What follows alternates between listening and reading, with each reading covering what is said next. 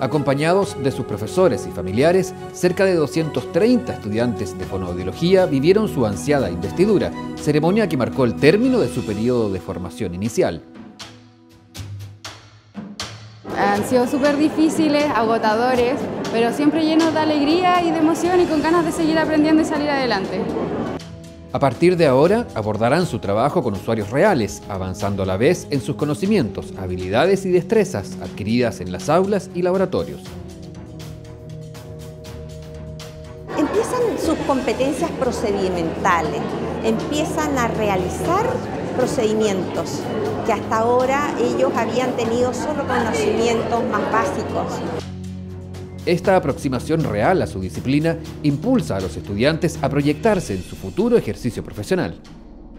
Espero trabajar siempre en la parte social con los niños que más lo necesiten y dar lo mejor de mí.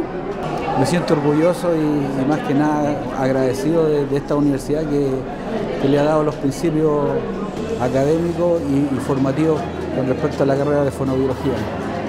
Así van cumpliendo etapas, acercándose cada vez más a hacer realidad sus anhelos. Bueno, ahora salir de la carrera y poder ejercer y, y ser muy feliz.